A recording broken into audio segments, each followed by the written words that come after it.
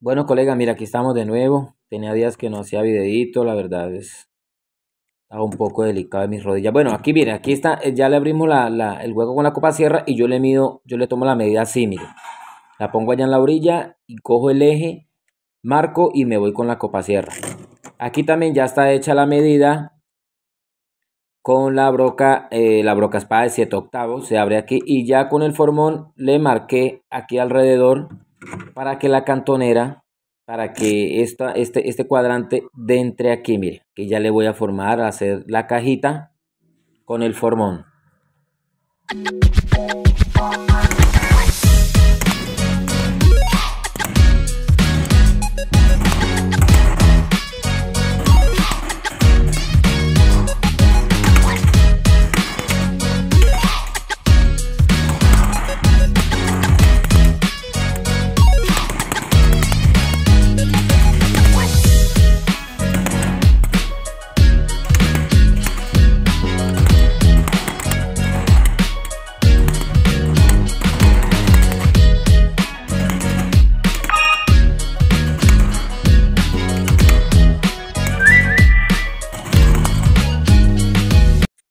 Entonces ya está listo, miren, aquí metemos la cantonerita, perdón, la, el pistillo del, del- de la chapa y queda al ras. Ahí ya quedó bien al ras. Ahora lo único que vamos a hacer es medir acá, mire, que es que queda muy, muy, muy al ras la puerta con el marco, entonces tocó hacerlo de esta manera y no vamos a poder colocar la cantonera, la platinita ya en el hueco del marco. Entonces aquí no es sino ponerle los dos tornillitos Aquí está, lo pongo, lo golpeo un poquito para tomar el inicio del enrosque. Y ya de ahí para allá, el tornillo automáticamente va ingresando en la madera, ¿no?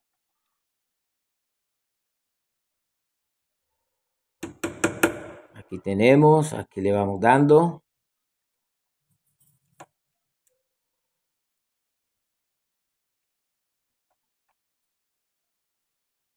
Y ahí quedó listo ya el pestillo. Ahora vamos a armar la chapa. Tengan en cuenta que cuando la vayan a colocar, mire, ya trae esta lengua.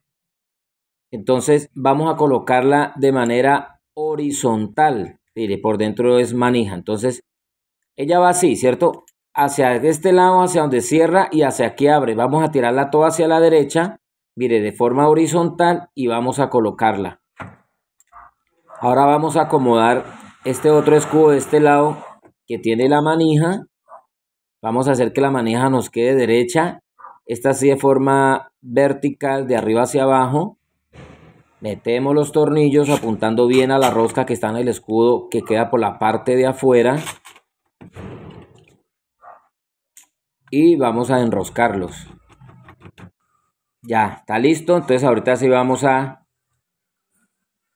proceder a enderezarlo por el otro lado y vamos a darle el último retoque. Revisar que el escudo por fuera quede bien derecho. Entonces mire, y abre y cierra manual porque se compró llave mariposa. Y por fuera, entonces ella trabaja con la llave, mire. Sale, saca la llave, mire. Ella trabaja de esta manera. Entra, aquí sale el pestillo, vuelve a la mitad, echamos llave, vuelve la llave a la mitad. Mire, si el juego que le queda, ese es el jueguito que deja uno cuando la tira para adelante para que quede funcionando bien. Si ustedes cuando la coloquen dejan la lengua hacia la dirección donde sale el pasador, entonces no les va a devolver para sacar la llave. Entonces ahora aquí, ahora aquí vamos a marcar, mire, ahora aquí vamos a Vamos a marcar de esta manera. Cerramos, no hemos abierto el hueco en el marco. Mire, con la broca espada, con esta punta que filudita, cierro tantico como si ya estuviera el hueco y comienzo a marcar por alrededor del pasador de la chapa.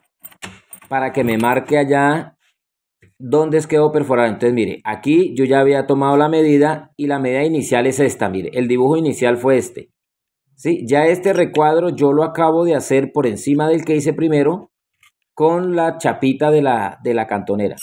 Ahora voy a proceder a abrir ahí. Vamos a abrir con el taladro. Aquí vamos a abrir mejor con la pulidora.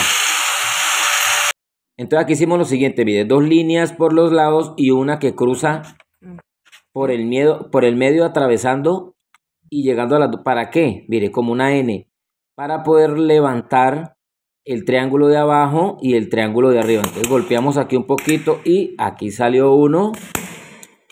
Aquí salió el otro y ahora enderezco estos dos con la pinza o con el alicate, los levanto bien y los corto con la polidora.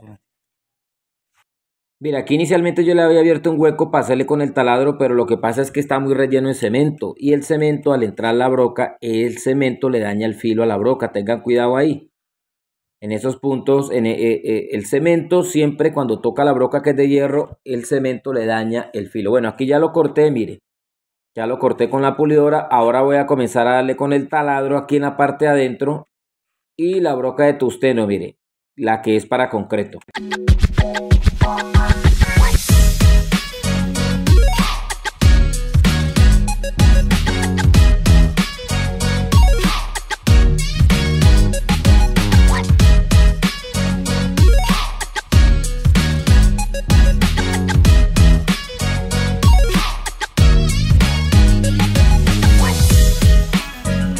Ya tenemos el hueco hecho. Vamos a cerrarla aquí.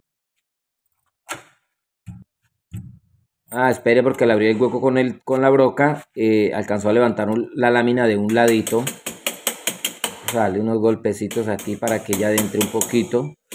Como la broca uno la mueve hacia los lados, así como haciendo O. Así como haciendo ruedas, sentido derecho en sentido izquierdo. Entonces alcanza a levantar la lámina un poquito.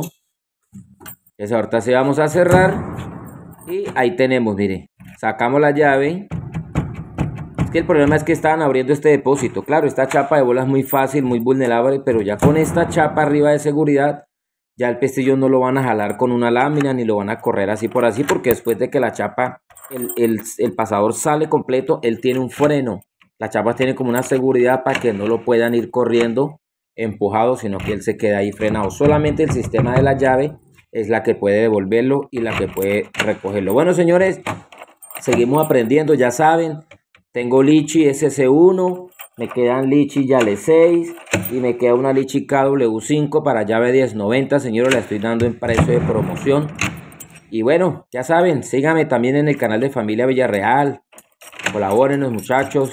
Estamos echando para adelante, estamos sacando tiempito para trabajar tiempito para hacer videos, tiempitos para hacer humor, tiempo para, bueno, para todo el tiempo de Dios es perfecto. Que ya saben que todo en la vida es un sacrificio, todo en la vida es un propósito. Y pues si uno no se propone, pues no lo alcanza. Pero la verdad en este canal ya tengo, ya voy, voy para 13 mil seguidores y, y pues me gustaría mucho que al, al menos, al menos la mitad me siguieran en mi canal de Familia Villarreal. También en Facebook tengo el canal este de cerrajería. Es para los que me quieran seguir también allá. Son bienvenidos muchachos. Dios les bendiga. Estamos pendientes de cualquier trabajito. Todos los colegas que me llaman a preguntarme cosas, siempre voy a estar disponible. ¿Listo? Chao, chao. Bendiciones.